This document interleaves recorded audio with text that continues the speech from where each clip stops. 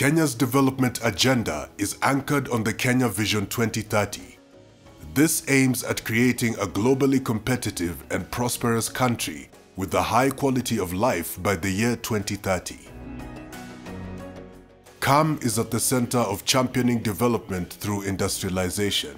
This must be done within the context of circular economy, minimizing environmental degradation, and embracing energy conservation and climate change initiatives. The story of development, I think, and industrial production historically was linear, which meant we got a raw material, we processed it, we made something, and we forgot about it. The consumer will take it and decide what to do with it. But as the world is growing and we can see the challenges we are getting around uh, climate change, environmental sustainability, and those kind of things, we realize that the resources of the world are not limitless. I just want to say that first, uh, you know, manufacturing sector is very key in the economy, and uh, it's part of the Big Four agenda. But even as we do that, we promote manufacturing. We need to make sure that uh, the development in that sector is sustainable. Kenya Association of Manufacturers has been leading at the front, uh, ensuring that we develop industry and we are able to create a sustainable future for all our citizens. Through the five-year Green Growth and Employment Program, the program was meant to work on the issues of resource and energy efficiency and water efficiency within the manufacturing sector in Kenya.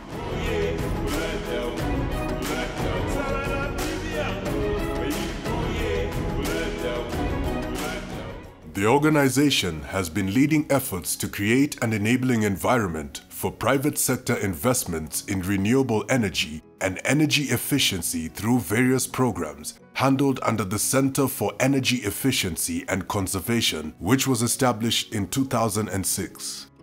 All this type of audits training academy which we have, a lot of courses which were of course physical, now they are online, but even online it has impacted a lot and these are relevant for the companies.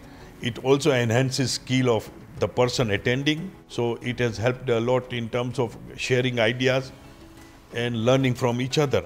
It has been a huge journey and a big journey towards making sure that our people are also equipped with the skills that are needed to make sure that they are able to, to spot waste, control it, stop it, and even create value in a process that they are actually supposed to be managing. For the last uh, five years, we've trained more than 15 of our operators, of whom five have uh, graduated to the level of uh, certified energy managers. And we've also had operators who've also grown within their ranks, yeah, in terms of moving up to get into, into senior positions within the technical field. And this basically has made us more competitive. The Center for Energy Efficiency is um, a center that promotes resource efficiency, whether it's energy audit, water and wastewater audits or assessments to promote water use efficiency. We also do waste management. We do capacity building from a technical perspective, so specialized courses in resource efficiency. We also do award schemes and exhibitions to promote and create awareness around uh, efficient use of natural resources. Within the same area, we do technology linkages so that we can help industries improve and use the right technologies to improve their efficiency.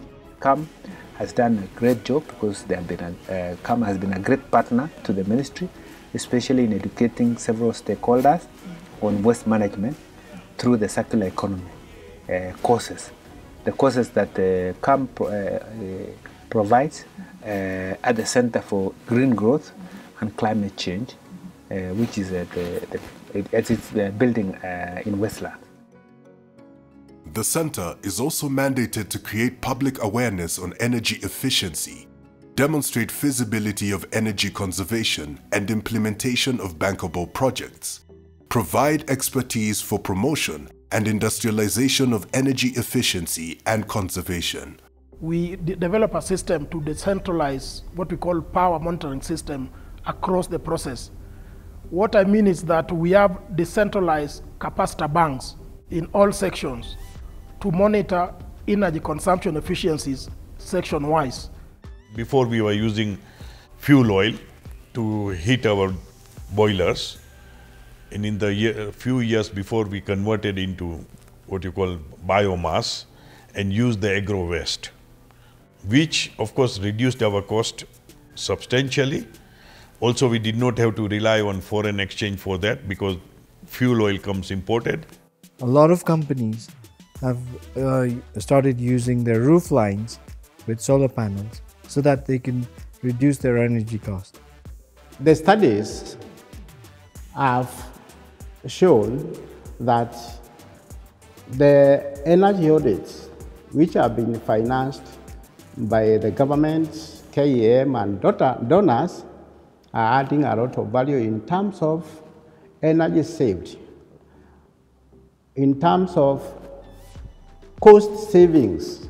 On the energy side, what I can say is that we've saved a whooping uh, 7 million uh, kilowatt hours, which is equivalent to 120 Kenyan uh, million shillings.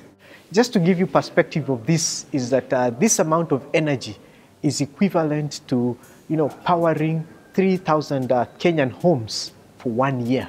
The last five years, we've saved close to half a billion shillings.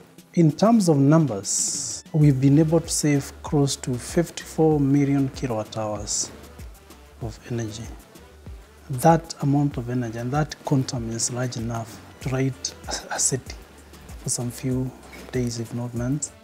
In order to execute our mandate as the voice of industry, we continue to seek partnerships that build and enhance the capacity of manufacturers to achieve circular economy, energy and water efficiency, and social economic prosperity. In the tea sector, the waste that we generate, we have what we call a waste management system in the company, where waste is segregated into three types. We have the biodegradable, we have the non-biodegradable waste, and then we have the toxic waste. Now, when it comes to organic waste, what we do with this waste is that we compost it.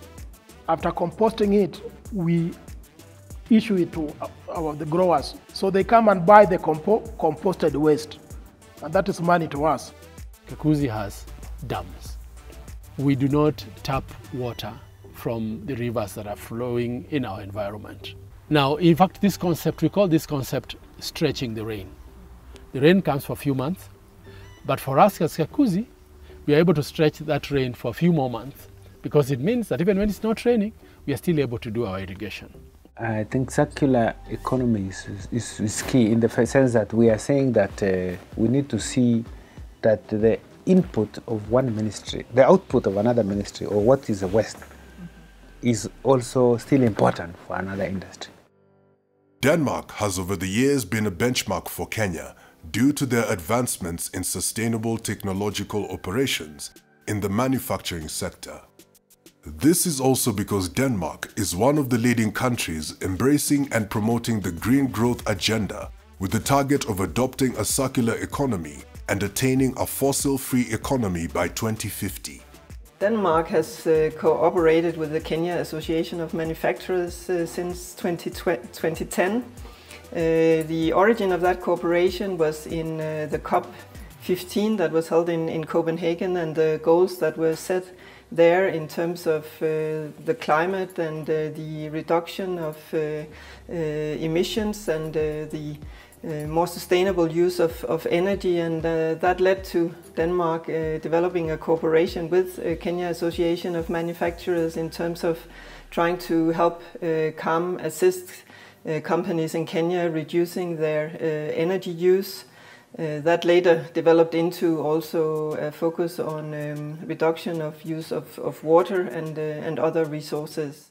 We want to appreciate the support we have received over the years from Danida and the Royal Danish Embassy uh, because with that support we have been able to plant a seed within industry and we are going to continue into the future with the sustainability journey, with the green growth journey, and ensure that the manufacturing sector in Kenya grows towards becoming a sustainable, resilient manufacturing sector.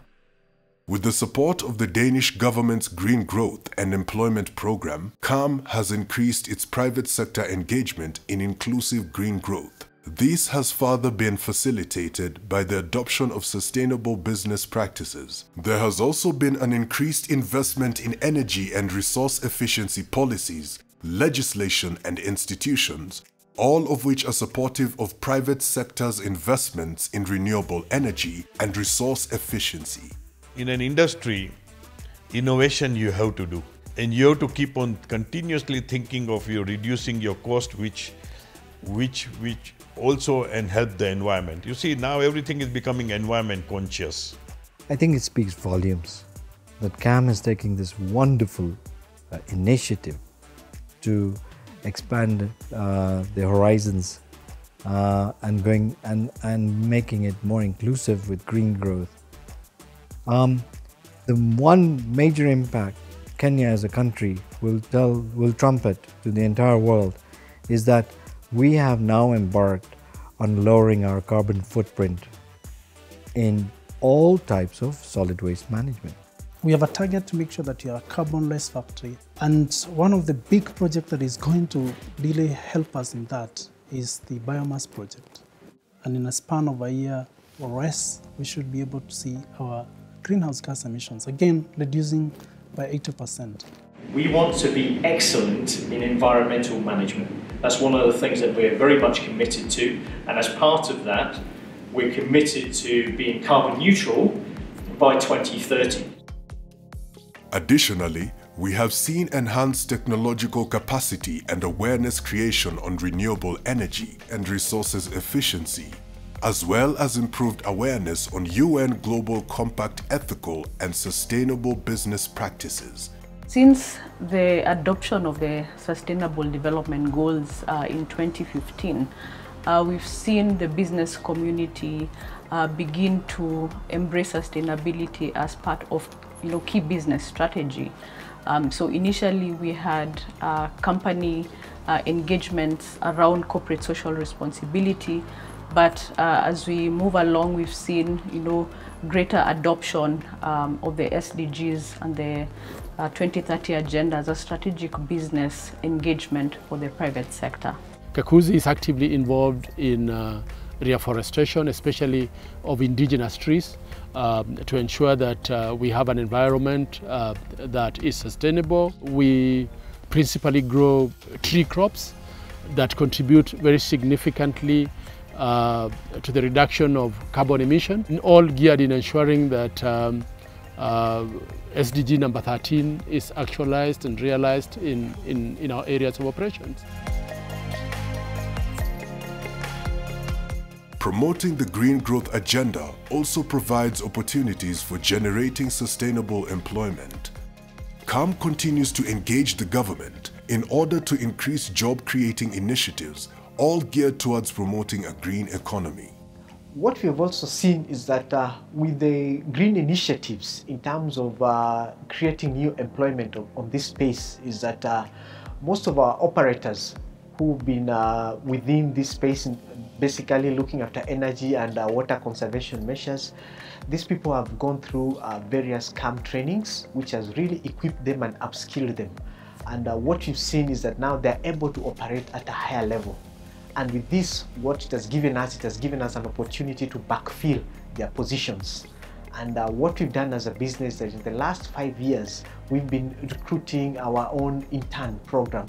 This is uh, one area where we require greater collaboration greater synergy uh, between government and private sector, especially given that we have our aspiration as a nation to grow our GDP and to grow our economy requires that we not only look at domestic markets, but we also focus on international markets. And the international markets now are becoming sensitive to the nature of products that enter into their market. I think uh, many consumers are now aware that they want to be sure that the products they consume have been produced in a manner that is uh, environmentally uh, friendly. Eh? They, I think the word green is important. We still need very close collaboration with KAM. My call to action first to industries is please embrace these products. They're good for business. They make business sense. They'll enhance your opportunities for accessing global markets, even local markets, with the consumers being more conscious of green products. It's a huge opportunity for us. And not just for us, it is what we are going to be able to leave for our children and our grandchildren and their children as well. By ensuring that we achieve a circular and green economy, Kenya will have transformed for the better to ensure that we safeguard our environment and natural resources for future generations.